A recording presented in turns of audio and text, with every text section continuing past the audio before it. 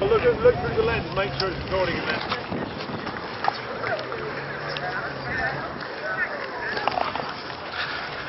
Ah.